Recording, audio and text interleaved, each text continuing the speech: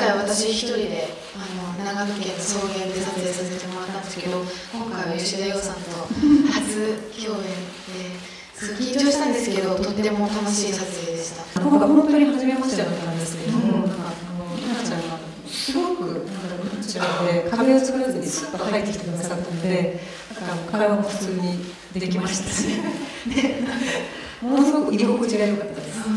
はい、海ービで手を振っていただきます。えっ、と、はい、ムービー後ろのこのようにお願いします。今度左、左、はい。はい、今度セッション終了させていただきます。ありがとうございました。